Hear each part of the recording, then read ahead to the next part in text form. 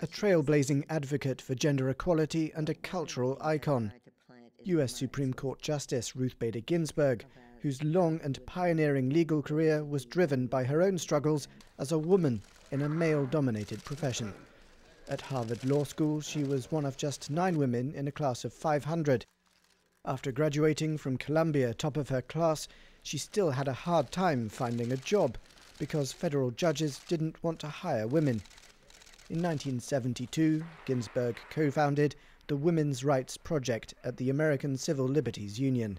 By 1974, the body had participated in over 300 gender discrimination lawsuits.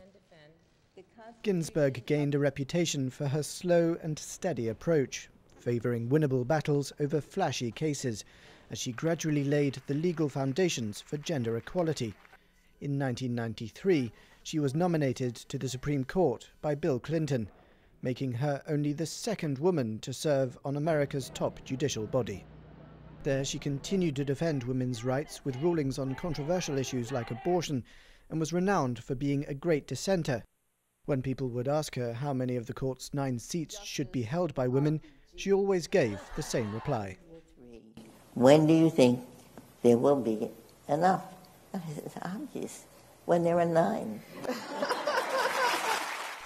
Her small stature combined with her refusal to be intimidated saw her rise to the status of pop culture icon, earning her the nickname Notorious RBG. Donald Trump's nomination of two Supreme Court justices left Ginsburg one of four progressives crucial to maintaining the balance on the conservative leaning court. She survived several bouts of cancer and a heart operation and was hospitalized multiple times in recent years. Ginsburg always said she would carry on with her job as long as her health allowed. Well aware that her death or retirement under a conservative president could see the court take a definitive swing to the right, shifting US policy for decades to come and jeopardizing her own progressive legacy.